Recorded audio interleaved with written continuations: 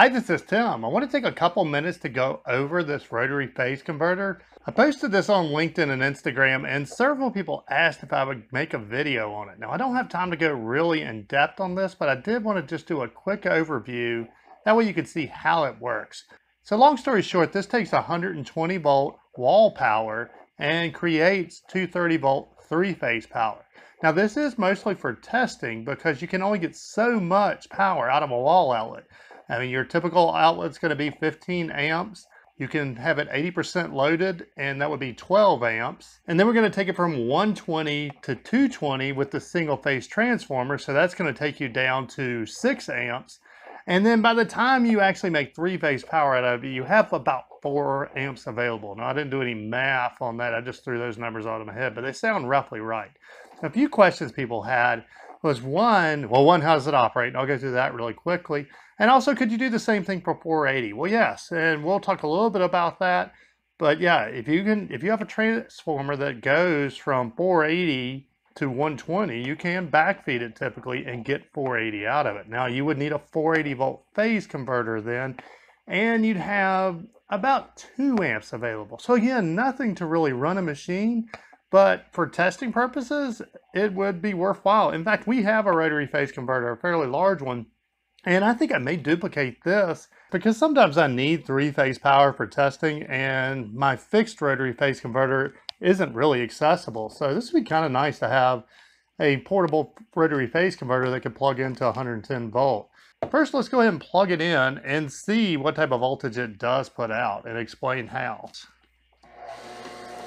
and it's fairly quiet even. So we have 120 volt coming from our wall outlet, and then it's gonna take that and boost it to 240 with this transformer. And I'll pop this open and show you what's inside in a second. And then the rotary phase converter is gonna make that artificial third leg. If I can get this where you can see it, put this on voltage, AC, then between L1 and L2, we've got 236 volt. I'm reading that backwards. Uh, maybe that may have been 238, not sure. And yeah, we got about 240 there. And then finally we have 240 there. So it's really well balanced even. But so this is creating 233 phase that we can use for testing. So let's talk a little bit about how it works. So this transformer here can take 240 or 480 and create 120 or 240. And this is your typical single phase transformer. And almost all transformers can be backfed. So you can take and plug 120 in and we could create 240 or 480. Then we're going to feed that to the rotary phase converter and I've got a video, and I'll put it down in the description. It goes a little further into this, but you can take any three-phase motor and connect single phase to it, and once you get it turning, it'll generate that third leg. And so this, in this part, has a starting capacitor. And that starting capacitor gives it that boost to get that motor rotating. Because if you try to power a three-phase motor off a single phase, the one thing they won't do is start. So that's what's up in here.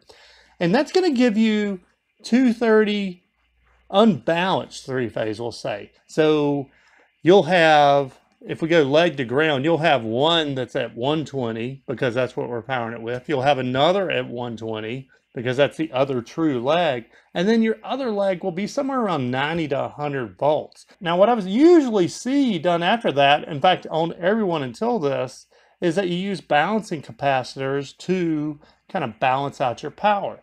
And this one doesn't do it that way. And one thing I didn't mention earlier is this is a Phase-O-Matic rotary phase converter. Uh, they aren't sponsoring this in any way, and I've never used one of these. I've always used, if somebody wants to buy one off the shelf, I've always used an American Rotary, just I've had good luck out of them, or I've built my own, but this is my first time using this Phase-O-Matic, and it seems great. The biggest reason I didn't use American Rotary on this one is they didn't have one that would scale down as small as I needed, because this is supposed to be as portable as possible. But if we pop this open right here, then inside this one, actually enclosed, there is a balancing transformer on this one. So what it does is it takes T2 and T3 in. So this is a true 120 volt leg, and this is our artificial leg. And then it's boosting it through this transformer. And I wish I had time to figure out the turns ratio on this transformer. I think that would be a really neat exercise. And while we're in here, while this is very tight, let's just talk about it real quick. Is for 120, we needed to have X2 to X4 and X1 to X3. And that was going to be feeding our 120. Here is the neutral coming in, and it's connected to X1 and X3. And then if in here I can find, yep, here is our black wire of our 120 and it's connected to X2 and X4. And then we have everything grounded. And then coming out of this, we're gonna make 240 and that's gonna be this diagram right here. So H1 and H3 is gonna go to one leg of our phase converter and H2 and H4 is gonna go to the other leg of our phase converter. And then here's a diagram of how we're actually wiring the phase converter. So we have L1 and L2, which is our 240 that we made out of our transformer. And then L1 is going to T1 of our motor. L2 is going to T2 of our motor. And then notice that it also goes to that voltage stabilizer. So then we generate T3, which goes to the end of that voltage stabilizer, and then we get an output of our third leg. And from that, we've got three phase output. Now, one final thing is a lot of times you need 208 and this is a 240 volt phase converter and I was in a pretty big hurry to build this so I didn't want to deviate a lot from the specifications. So 120 in, 240 volt out, that's exactly what I'm feeding the phase converter. But could we use it to make 208? And my concern on that was whether the balancing capacitors, which now I know is actually a transformer in this case, would work. Well, with a transformer, it definitely wouldn't work, but with capacitors, it probably wouldn't either. But just to show that, I have a variac here. And so a variac can take 120 volt in, and you can dial that voltage back. So I could dial this to 50% and get 60 volt out. I could put that in here and I could get 120 volt out. But so what I'm going to do is I'm to start this up with this at 100%, and then I'm going to dial it back until I have 208 on my main two legs, and just see how balanced it is. I'm just going to plug this into the front of the Variac. And currently I have this set for 100%, so it should start exactly the same. And across my two main legs right now, I have right at about 237 volt. So I'm to dial this back until we get at 208.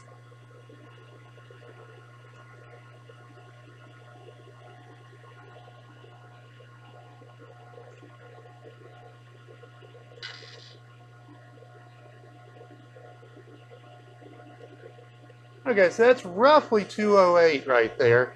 And now I'm going to check it to our artificial lag. And, all right, I mean, we're at 201. I mean, I wouldn't knock that. But we can see that our phase imbalance is going to be worse as we dial this back because it is designed to run on 240 volt. So I hope this video helps you understand a little about phase converters and about how you can backfeed transformers. Till next time.